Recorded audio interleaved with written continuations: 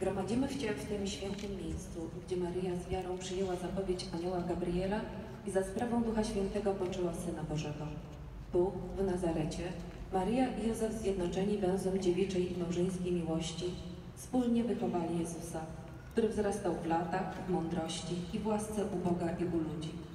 Jezus, Maryja i Józef dzielili razem ubogie życie, wypełnione pracą i modlitwą, przeżywając swoje radości i smutki. W nazaretańskim domu, szkole Ewangelii i kolebce Kościoła wzięło początek Królestwo Boże, do którego budowania także i my jesteśmy powołani. Teraz z zapalonymi, zapalonymi świecami pójdziemy do domu Maryi, rozważając tajemnicę radosnej Różańca Świętego.